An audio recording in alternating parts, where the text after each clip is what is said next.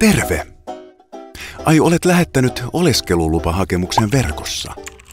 Ja olet varannut ajan maahanmuuttoviraston palvelupisteeseen. No sehän on hienoa. Palvelupisteessä varmistetaan henkilöllisyytesi ja sinulta otetaan sormenjäljet.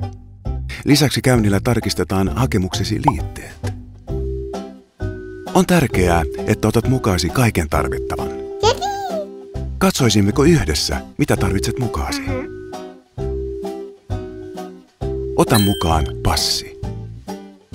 Tarvitset myös passikuvan. Passikuvan saat valokuvausliikkeestä ja se saa olla enintään kuusi kuukautta vanha. Ota vielä mukaasi verkkopalvelussa lähettämäsi liitteet alkuperäisinä. Hyvältä näyttää. Jos et ole vielä maksanut käsittelymaksua verkossa, ota mukaasi myös rahaa tai maksukortti. Ai, olet hankkinut käännöksen tuosta todistuksesta. Hienoa. Oleskelulupa-asiat hoituvat suomen, ruotsin tai englannin kielellä. Joten jos asiakirjasi on jollain muulla kielellä, tarvitset siitä virallisen käännöksen. Ja vielä muistutus sinulle, joka haet oleskelulupaa paperihakemuksella.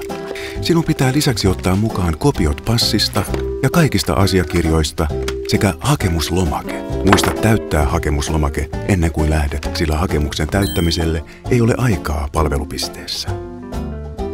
Tiesitkö muuten, että maahanmuuttoviraston palvelupisteessä saat palvelua suomen, ruotsin ja englannin kielillä? Jos et puhu näitä kieliä, ota mukaasi joku, joka pystyy auttamaan sinua jollain näistä kielistä. Tervetuloa maahanmuuttoviraston palvelupisteeseen.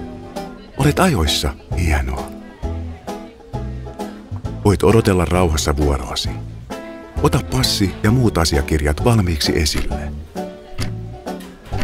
Kun on sinun vuorosi, sinut kutsutaan nimelläsi palvelutiskille.